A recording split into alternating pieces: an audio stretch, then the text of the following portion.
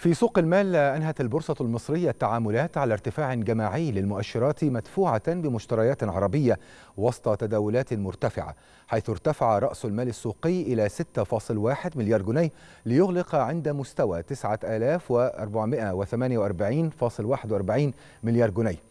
على صعيد المؤشرات ارتفع مؤشر إي جي إكس 30 بنسبة 93 من 100% ليغلق عند مستوى 14723 نقطة.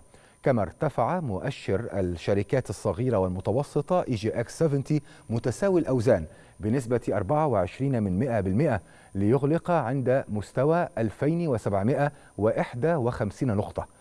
وصعد مؤشر اي جي إكس 100 متساوي الأوزان بنسبة 45 من 100% ليغلق عند مستوى 4041 نقطة.